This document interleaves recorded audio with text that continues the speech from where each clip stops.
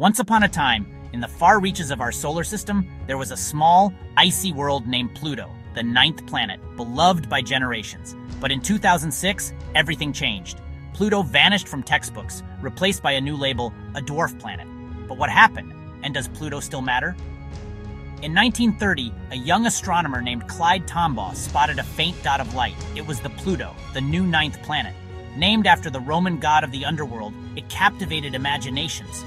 But as telescopes grew stronger, astronomers realized something strange. Pluto wasn't alone. Beyond Neptune, thousands of icy worlds like Pluto lurked in the Kuiper Belt. Then, in 2005, scientists found Eris, a rival even larger than Pluto. The discovery sparked a cosmic identity crisis. In 2006, the International Astronomical Union made a historic vote. To be a planet, a world must 1. orbit the Sun, 2. be round, and 3. clear its neighborhood of debris.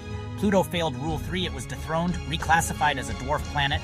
Overnight, solar system models changed. Pluto was relegated to the sidelines, a footnote in astronomy books. But the story was far from over. In 2015, NASA's New Horizons probe raced past Pluto after a nine year journey. What it found stunned scientists. Pluto wasn't a dead rock, it was alive.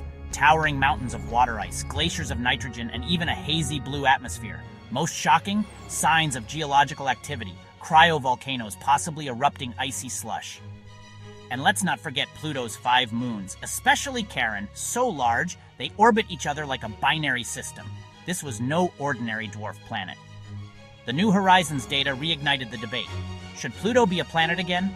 Lead scientist Alan Stern argued if Earth were in Pluto's place, it wouldn't clear its orbit either.